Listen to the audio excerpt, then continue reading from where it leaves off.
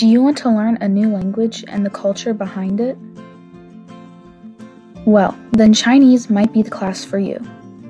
In Chinese, you learn to read, write, and speak the language. Chinese can also teach you to work together with others. You also get to do fun activities while learning. To learn more, email zhongzi at full